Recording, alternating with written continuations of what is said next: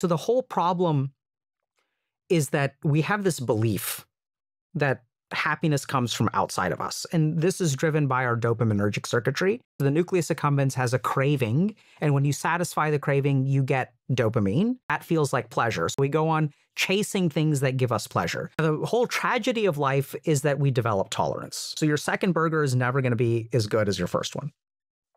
So we develop tolerance. So chasing dopamine is never going to work because there's a fundamental biological constraint that will never allow it to function. If we look at enlightenment, I think that's more serotonergic, where there is a sense of contentment or peace that is internal and independent of getting things. And what we also know, this is what's really interesting, is that dopamine and serotonin are inversely related. So if I play video games all day, I will get dopamine, but I'll feel terrible at the end of the day. I'll be like, oh my God, I'm so dumb. I like wasted my whole day. I should have been productive.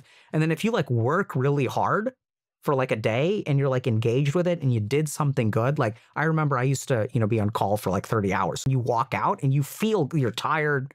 You're, you were angry at times. You were like, you know, it was a negative experience, but you feel so good. That's serotonin.